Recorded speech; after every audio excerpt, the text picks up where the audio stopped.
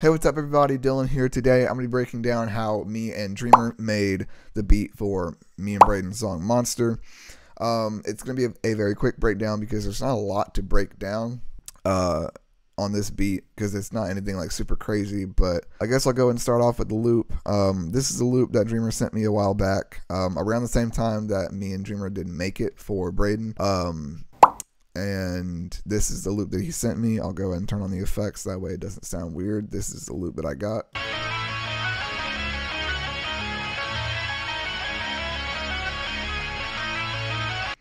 And each individual loop is going to sound like this.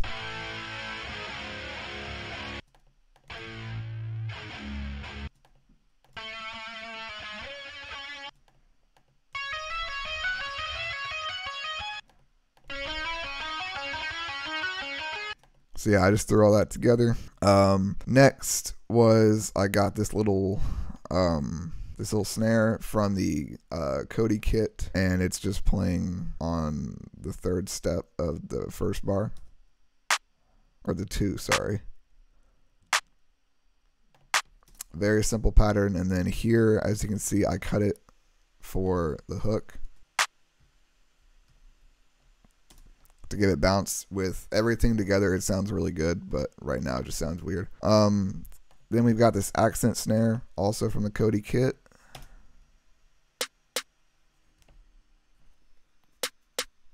Very simple trap snare that literally everybody has at this point, I'm sure. Then I did a two-step hi-hat pattern that's very simple because I, I like to keep my beats really simple, um, personally, just because it, it gives the artist more room to breathe um, so this is the Wunda hi-hat from Cody. Again, same kit. Uh, I believe it is the the Reddit drum kit that I got this from. So uh, shout out Cody for that. Really good kit. I suggest you guys go and get that.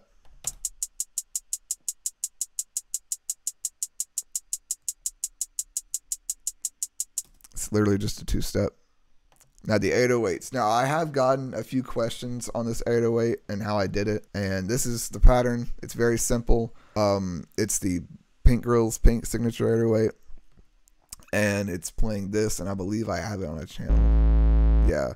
So there's nothing on the channel, but I did have an overdrive on the official version of this beat after I sent it to Braydon, but this is before I sent it out to Braydon. This was just me making the beat. Um, there are a few changes in the official release, but it's nothing so different that you know it warrants a whole different breakdown. It's literally the same beat, just with like a few added effects. Um, so this is the pattern. Um, so this is the part that I get questioned on the most is the, the slide, and I'll get into that in just a second. But I'm gonna go ahead and play the pattern.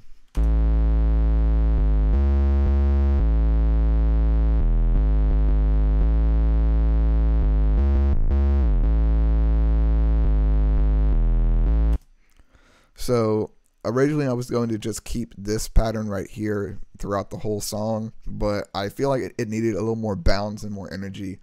So I added this little slide. It's a very simple slide. It's just going down an octave. And then right here it's going down from C sharp to A. Just to give it a little more energy. That's as simple as it gets really. I mean, it's not it's nothing crazy. It's nothing like super insane. Like if you've been making drill beats and you know exactly how to do 808 slides it's very simple. I mean so next i got an open hi-hat which this is from the cody kit as well. Just playing on the one. Last but not least i got a kick also from the cody kit. This is the prada kick. Playing on the one and two. So altogether the drums should sound something like this.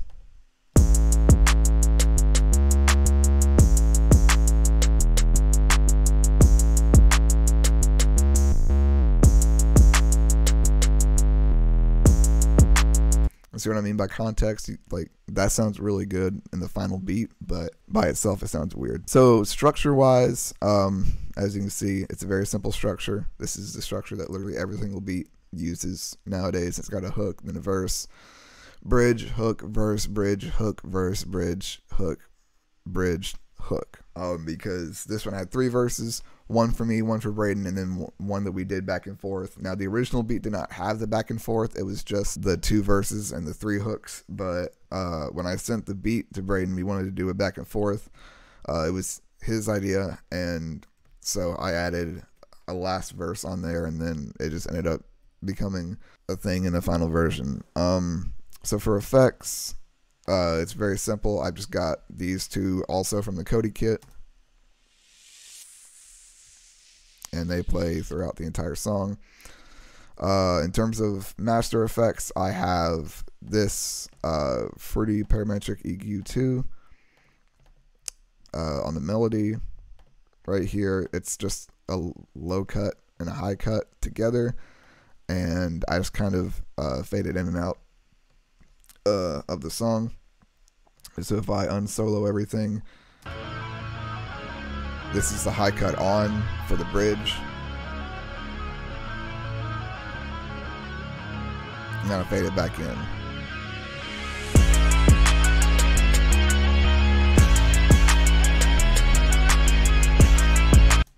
And then over here, I have a tape stop because on the the back and forth verse, uh, Braydon was like, you know what, maybe you should put like a tape stop on it. So what I did was I cut the beat a little bit right here.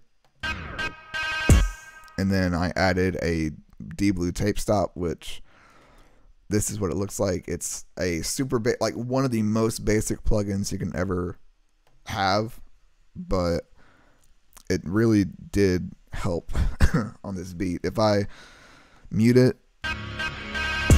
it doesn't transition as well as it could. So I just added a tape stop, and that just kind of helped fill in the gap there of when it was cutting. So last but not least, I added our tags. we love you, Dillan. And everything came together. Uh, I sent the beat to Braydon. He liked it. No, wait, wait. I called him. He liked the beat. We hopped on it. Um, and then about a month later, the song came out.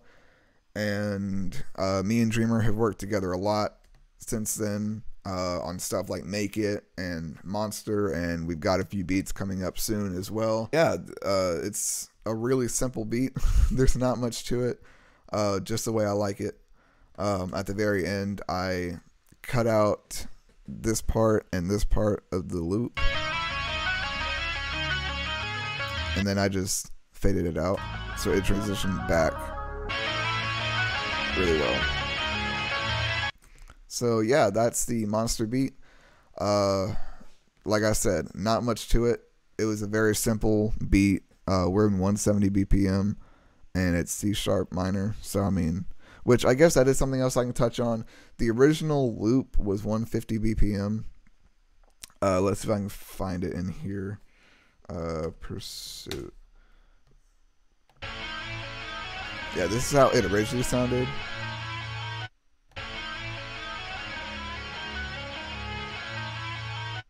And I just sped it up. And then added the drums, and everything was just, you know, good from there. So uh, that's pretty much the breakdown. Thank you guys so much for watching. Um, go subscribe to Braydon and DREAMR and go follow them on all their socials. They killed this thing uh, along with me. Uh, this was not a solo effort. This was a group project. So shout out to everybody who helped. And uh, let me know what you guys think of the song.